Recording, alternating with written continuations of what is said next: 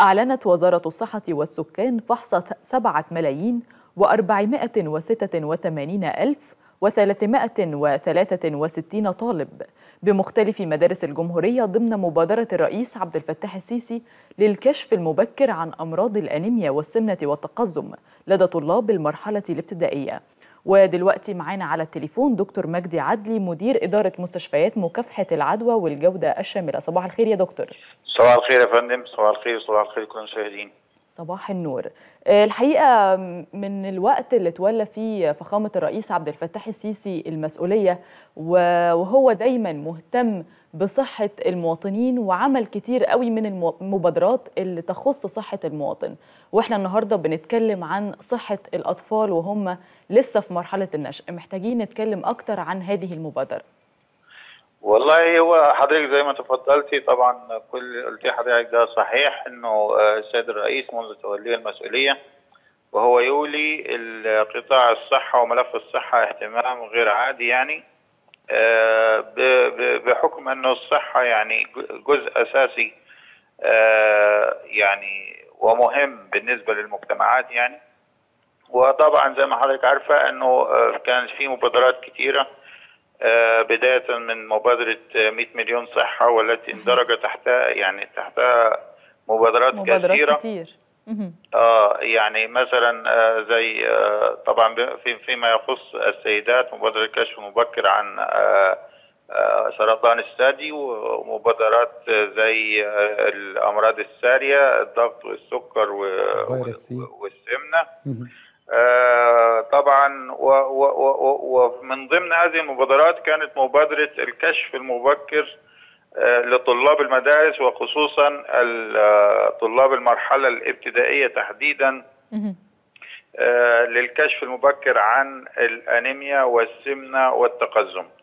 طبعا يعني السؤال طب ليه المرحلة الابتدائية؟ لأنه طبعا زي ما أنت حضر عارفه حضرتك إنه الأمراض دي بترتبط بعنصر هرموني وهو ألا وهو هرمون النمو يعني. فعلاج المشكلة دي بيكون يعني بيجيب نتيجة أكثر في طلاب المرحلة الابتدائية من ناحية العلاج بهرمون النمو والتغلب على مشاكل التقزم. طبعا بالنسبة للمبادرة دي زي ما حضرتك تفضلتي من العام الجاري منذ بداية العام الجاري وحتى تاريخه تم فحص قرابة 7 مليون و486 ألف طالب في 30 ألف مدرسة خاصة وحكومية. طبعا الفحص ده بيتم من خلال فرق طبية متدربة. كل كل الفرق دي بتبقى بتشمل ثلاث عناصر مهمين. بتشمل على عنصر تمريض وفني معمل وإداري أو مدخل بيانات بلغ عدد الفرق دي تقريبا في حدود 2400 فريق طبي. طبعا اللي بيتولى الحملة دي من الأساس هو هيئة التأمين الصحي بحكم صحيح. أن الطالب يعني منذ ولادته يعني منذ يعني بداية الولادة حتى إتمام العام التعليم الأساسي بيخضع لمنظومة التأمين الصحي. فالمبادرة دي بالكامل نفذتها هيئة التأمين الصحي. طبعا بيبقى بعد الكشف في في حاجة بيسمى كروت متابعة في حالة ظهور مشكلة تتعلق ب الانيميا يعني لو مثلا سي إنه لقوا نسبة الهيموجلوبين طبعا أنت عارفه حضرتك الانيميا يعني نسبة الهيموجلوبين بتبقى قليلة. وده طبعا بيأثر على التركيز بالنسبة للطالب أو التحصيل الدراسي. فبيبقى في كروت متابعة بحيث أنه الطالب بيتلقى العلاج باستمرار لحين في متابعة. بالضبط لحين أنه يعني نسبة الهيموجلوبين توصل للمعدل الطبيعي. دكتور تحياتي لحضرتك. اتفضل أنا أنا صباح الخير ازماكي صباح الخير. فندم دلوقتي أنا بسأل دلوقتي في حالة إن اكتشفنا إن في إصابة لطفل أو طفلة وخلاص يعني العلاج بيكون إزاي؟ وهل العلاج ده بيكون على يعني في جزء من من العلاج ال- ال- الطفل أو الأسرة بتتحمله ولا العلاج بالكامل بيكون على آه، تكلفة الدولة وخصوصا الموضوع ممكن ياخد وقت طويل يعني. بالظبط هو سؤال حضرتك آه، كويس. هو العلاج بالمجان تماما تماما. الطالب لا يتحمل أي شيء فيه أو الأسرة آه، يعني تماما. زي ما حضرتك تفضلت هو بيبقى فيه حاجة اسمها كارت متابعة. لما بيتم اكتشاف إن هو فعلا مصاب ومحتاج آه، آه، يعني علاج آه، لفترة معينة يعني. طبعا هي مش بتو يعني بتبقى مثلا فترة في حدود من من ثلاثة لست شهور. بس علاج مكثف بحيث إنه ده ده في حالة الأنيميا يعني. لكن طبعا بالنسبة لمشاكل زي التقزم بتبقى فعلا بتاخد فترات طويلة لأنه بيبقى محتاج آه، حاجة اسمها هرمون النمو آه، طبعا آه، بيتاخد بجرعات لفترات طويلة وبالمناسبة يعني تكلفته يعني غالية لكن الدولة التكلفة دي بتكون على جانب الدولة بالكامل. يعني الطالب أو الأسرة ما بتتكلفش أي شيء من هذا القبيل. يمكن آه، دكتور ال- المبادرة المبادرة يعني بصراحة ودي مش ال- المبادرة الأولى ولا الأخيرة أنا عارف يعني. وفي مبادرات عملاقة كمان فيروس سي دي تعتبر هرم من أهرامات مصر يعني. ولكن بس- بسأل حضرتك أتمنى أن يكون في توعية كمان من الأهل يعني.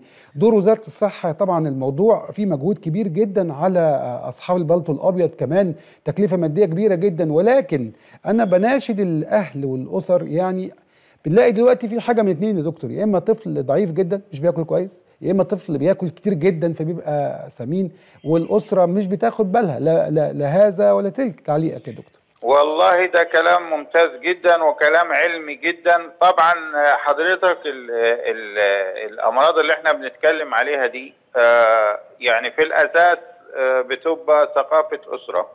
يعني مثلا آه، حاجة زي السمنة. بالمناسبة السمنة دي مش معنى إنه ال- ال- ال- الطالب إنه بياكل مثلا أكل صحي. ده ربما يكون ناتج عن ان هو مركز على حاجات آه، جانك فود أو الأكلات السريعة. بالإضافة إلى التركيز على نوع معين أو أو نشويات أكثر من من أي حاجة تانية ده يا دكتور أنا عاوزة أتكلم مع حضرتك في نقطة إن الأهالي في السن الصغير لأطفالهم بيقولوا إن هو طفل فمحتاج يتغذى كتير أو محتاج ياكل كتير عشان يبني هو- جسمه. بالظبط بس هو للأسف آه، مش معنى التغذية الكتير أنا أنا عايز توازن في. الوجبات الغذائية.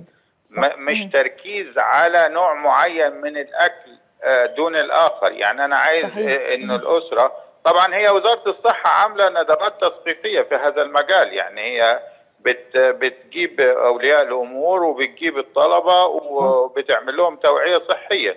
لكن أنا بالنسبة حاجة زي التغذية التغذية دي مش لازم يبقى في حاجة اسمها عنصر تكاملي في, صح. في الوجبة الغذائية. مظبوط. يعني ال- الوجبة الغذائية لازم تحتوي على كربوهيدرات تحتوي على آه، بروتين تحتوي على فيتامين فيتامين صح لكن ورقيات وحاجات كده. يا دكتور الغريب يا دكتور في الموضوع إن أنا بستغرب من حاجة إن ألاقي دايما الأهل بيقدموا عفوا يعني بيقدموا السم لاولادهم ولما بيروحوا يكشفوا ألاقي مثلا الأم بتتفاجئ معقولة عنده سمنة؟ يعني حضرتك مش واخدة بالك؟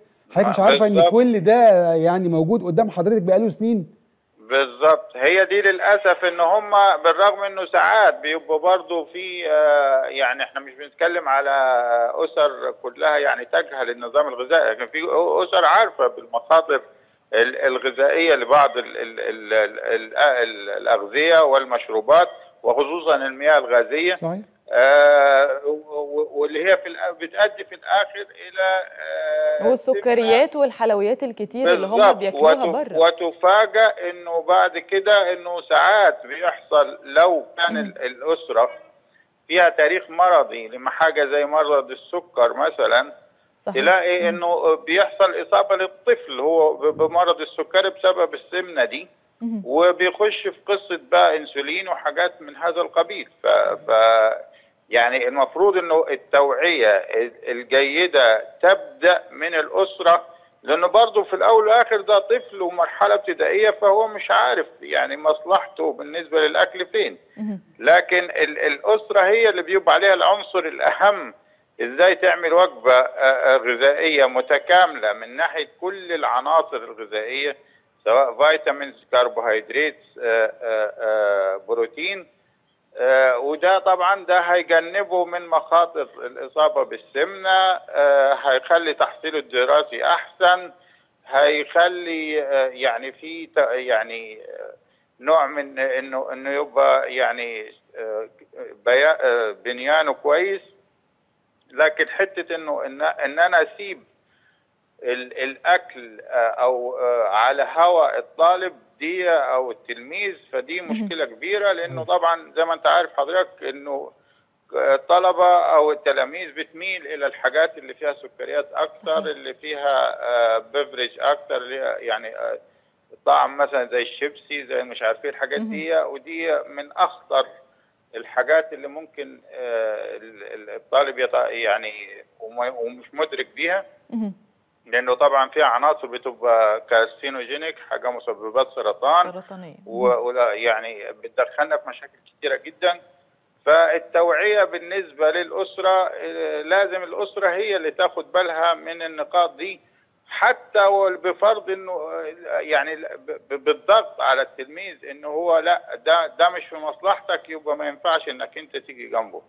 يعني هي دي هي دي ال- ال- النقطة الأساسية. صحيح. لكن ما تسيبش ال- التلميذ أو الطالب هو اللي يختار غذائه بنفسه. صحيح. دكتور مجدي عدلي مدير إدارة مستشفيات مكافحة العدوى والجودة الشاملة كنت معنا عبر الهاتف. بشكر حضرتك يا فندم. شكرا جزيلا.